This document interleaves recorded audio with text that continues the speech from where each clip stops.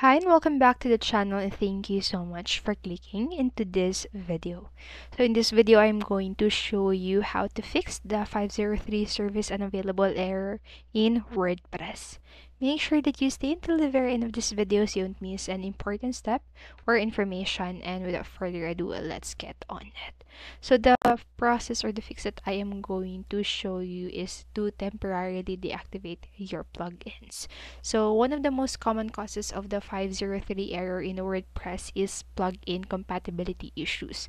So to determine if that's what's happening, you'll need to disable all of your Signs plugin. So since the 503 error prevents you from accessing the admin area, you'll need to use the FTP client for this step. So if you don't have one set up, recommend the FileZilla. So once your FTP client is ready, just connect to your website through it and navigate to your root folder. So in case you can find it, it is usually called the public underscore HTML, shape or public or www or your size name. So if you are Kinsta client, it is your public folder. And then open that folder and then navigate to the WP content directory. So inside you'll find a folder called plugins, which contains individual subject or subdirectories for each of the plugins installed on your site. So this is for both active and inactive.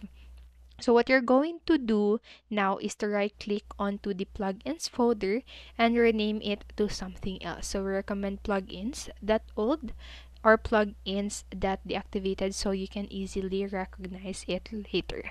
And after that, WordPress will now or will now not be able to find any of your plugins. So when that happens, it will automatically disable those plugins. So now try accessing your dashboard. So if the 503 error is gone, then you can assume that one of your plugins was the culprit. So all you have to do is figure out which one was at fault. So return to the WP content directory and rename your original plugins folder correctly. And then you'll need to disable each of your plugins one by one until until you find the culprit. And to do this, just open the WP content or the plugins directory. So inside, you'll find one folder for each of your plugins. That process is going to, or your, the process you're going to follow is much the same as before.